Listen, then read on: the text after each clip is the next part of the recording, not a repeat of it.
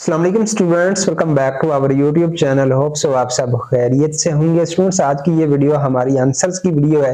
ऐसे तमाम स्टूडेंट्स जिन्होंने कल सवाल किए थे क्वेश्चन वाली वीडियो पे, इस चैनल पे या फिर सेकंड चैनल पे, अब तमाम स्टूडेंट्स के सवाल का जवाब डिटेल में आपको इस वीडियो में दूँगा। लेकिन वीडियो शुरू करने से पहले आपसे रिक्वेस्ट है कि अगर अभी तक आपने इस पेज को फॉलो नहीं किया, इसको फॉलो कर लें। अगर अभी तक आपने चैनल को सब्सक्राइब नहीं किया, इसको सब्सक्राइब कर लें ताकि हमारी आने वाली तमाम तरह एडमिशन की स्कॉलरशिप्स की जॉब्स की अपडेट्स का नोटिफिकेशन आप तक पहुँच सके। स्टूडेंट्स अगर आपका मजीद कोई सवाल हो तो आपने इस वीडियो में सवाल नहीं करना, बल्कि अभी इसी चैनल पे जो मैं क्वेश्चन वाली वीडियो शेयर करूँगा, उसमें जाके आपने अपना सवाल करना है, और उसका रिप्लाई कल आपको इसी टाइम मिल जाएगा। बाकी जिन स्टूडेंट्स ने कल सवाल किए थे, आपके तमाम सवाल का जवाब देने जा रहा हूँ। सबसे पहले नंबर पर बात करें तो देसी मुंडे के नाम की आईडी इसने सवाल किया, सर जी इवनिंग की सेकंड मैलिस कब लगेगी?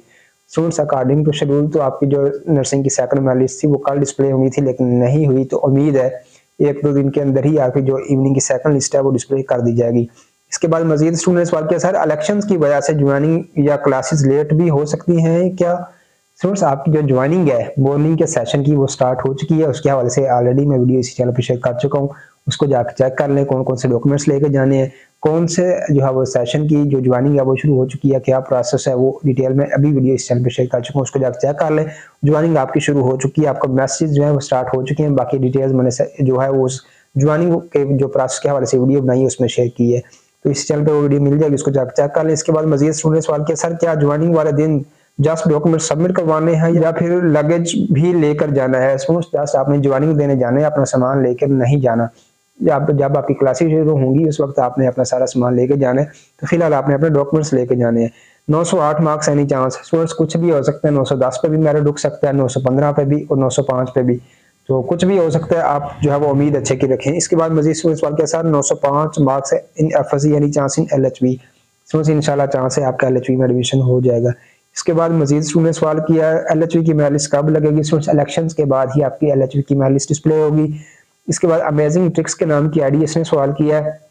आठ सौ बावन any chance in L H B. Chance तो बहुत कम है आपके, क्योंकि आठ सौ नब्बे से अबाव भी होता है मेरिट इसका हर साल। चौधरी समीउल्ला ने सवाल किया, इस्लामिया यूनिवर्सिटी में एक के कैंपस से दूसरे कैंपस में इमिग्रेशन का प्रोसेस बता दें। चौधरी समीउल्ला, इसमें जो है मेरे ख्याल में आपकी इमिग्रेशन जो है वो नहीं हो सकती। तो जिधर आपने एडमिशन लिया, आप उधर ही डिग्री करेंगे। के बाद मजीद स्टूडेंट ने सवाल किया था जिन्होंने इम्प्रूवमेंट्स के पेपर्स दिए हैं जब उनका वेरीफाई होगा तो इनवैलिड आएगा, क्योंकि जब अप्लाई किया था तो पुराने की बेस पे किया था, लेकिन अब न्यू जो है वो आ गया है तो पुराने इनवैलिड होगा। अब तो न्यू ही सबमिट करवाएँगे क्या?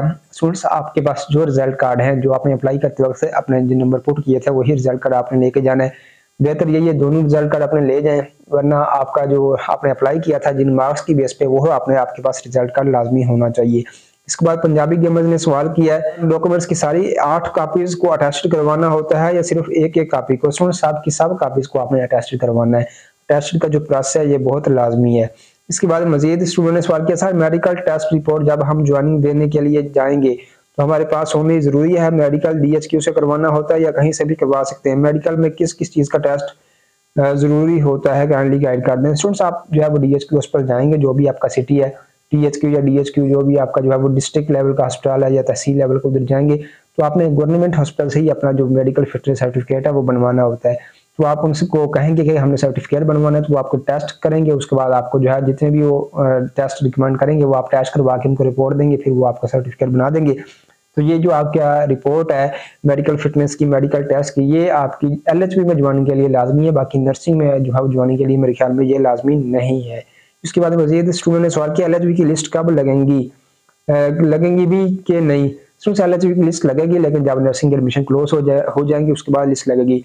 Any chance for 910 plus. Students Taimur ने सवाल किया स्टूडेंट्स चांस जो है 910 तक हो सकता है कि मेरिट आ जाए, क्योंकि जो इसकी लास्ट लिस्ट लगी है, मॉर्निंग की इवनिंग की पहली लिस्ट लगी उसमें मेरिट 924 तक आ गया।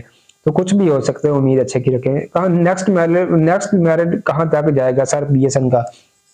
स्टूडेंट्स उम्मीद है दस नंबर तो जो है मिनिमम ज़रूर डिक्रीज होगा मेरे देखने में।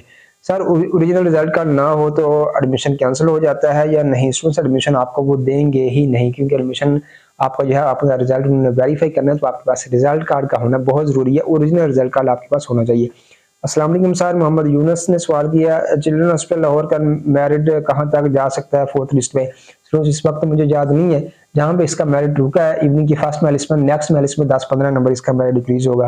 इसके बाद मजीद स्टूडेंट ने सवाल किया ज्वाइनिंग कब तक होनी है? प्लीज़ बता दें स्टूडेंट्स आपकी ज्वाइनिंग शुरू हो चुकी है, आपको मैसेज जो है वो आना स्टार्ट हो चुके हैं। तो आप अपने नंबर को एक्टिव रखें बकाया तौर पर, जिस कॉलेज में आपने जो है अपनी ज्वाइनिंग दी थी, उधर से कॉल भी आ रही है और पीएचएफ की तरफ़ से बकाया तौर पर आपके जो मैसेज हैं वो भी स्टार्ट हो चुके हैं। उसके बाद स्लीपी ब्राउन बेयर ने सवाल किया सर ज्वाइनिंग के इलेक्शन से कोई कंसर्न तो नहीं, या मतलब ज्वाइनिंग लेट हो गई या पहले ही होगी सो ज्वाइनिंग आपकी शुरू हो चुकी है। ज्वाइनिंग का जो है वो इलेक्शन से पहले ही इन्होंने शुरू कर दी है मॉर्निंग के सेशन की। इसके बाद मजीद स्टूडेंट ने सवाल किया, सर, मैंने बी एस नर्सिंग में अप्लाई किया था, मेरा नाम किसी भी कॉलेज में इंटर नहीं हो रहा। मेरे नौ सौ है, क्या मेरा नाम आ सकता है इवनिंग की लिस्ट में? इसमें नहीं आया क्या कोई चांस है आने के? स्टूडेंट्स अगर आपने सब कॉलेज में अप्लाई किया था तो आपका मेरिट जो है वो बन जाएगा। नौ नंबर अच्छे नंबर हैं आपके। आपसे कम नंबरों वालों का जो नाम है वो डिफरेंट कॉलेज में आ चुका है मॉर्निंग में। तो आपका भी चांस है इवनिंग में भी कुछ स्टूडेंट्स का नाम आ चुका है। नौ सौ तीस, पैंतीस वालों का तो आपका भी आना चाहिए था नाम। तो आप चेक करें लिस्टों में आपका नेम आ चुका होगा। इसके बाद मजीद स्टूडेंट वाले से सवाल किया सर क्या अटेस्टेड अटेस्टेड करना ज़रूरी है डॉक्यूमेंट्स को? जी हाँ स्टूडेंट्स आपके डॉक्यूमेंट्स अटेस्टेड करना ज़रूरी है। इसके बाद मजीद स्टूडेंट ने सवाल किया, सर, अगर ओरिजिनल रिज़ल्ट कार्ड गुम हो जाए तो साथ आई कार्ड भी स्टूडेंट्स के बगैर आपको एडमिशन नहीं मिलेगा। तो आप जल्द जल्द अपना रिज़ल्ट कार्ड जिधर भी आपने रखा था, उसे याद करें और उसे तलाश करें। इसके बाद मजीद स्टूडेंट ने सवाल किया, सर फ़िज़िकल थेरापी के एडमिशन कब ओपन होने हैं? वसीम लशारी स्टूडेंट्स, इसके हवाले से मुझे पता नहीं है। पंजाब पंजाब मेडिकल फैकल्टी के डिफरेंट प्रोग्राम से उनमें आप चेक करें कि इसका एडमिशन हो चुके हैं या नहीं हुआ, क्योंकि इसमें डिफरेंट जो मेडिकल के टॉप लेवल के प्रोग्राम्स हैं, उनके एडमिशन ऑलरेडी हो चुके हैं तो उसको जाके आप चेक करें। तो इसके हवाले से मुझे कन्फर्म आपको नहीं बता सकता कि कब हो सकते हैं, कि कब होंगे, क्योंकि आपके पंजाब मेडिकल फैकल्टी के ज़्यादा जो मेडिकल के प्रोग्राम्स हैं, उनके एडमिशन हो चुके हैं।